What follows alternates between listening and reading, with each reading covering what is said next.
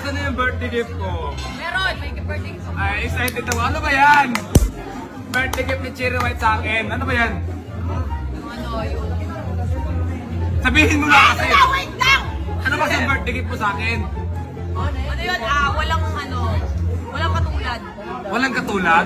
Nakakaisip naman. Ano ba yan? Ano ba yan? Bigay ko na sa'yo. Sabihin kasi maraming nakikinig. Ano ba? Ano ba yung birthday gift mo?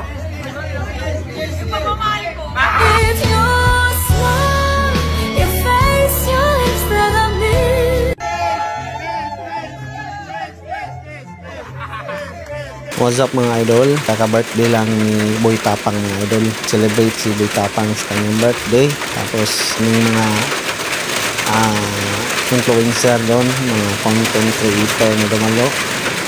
Lalo-lalo na si, si Cherry White mga idol. Yung palaging kasama niya sa vlog niya.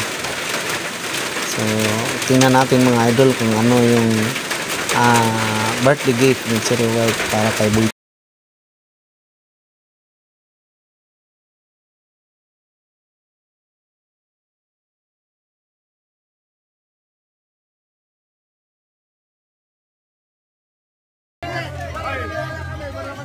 Agnes, mamaya, pag-off cam.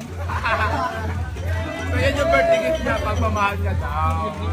So, paano yan? So, imbes na times 2, times 10 bibigay ko dyan. Yeah!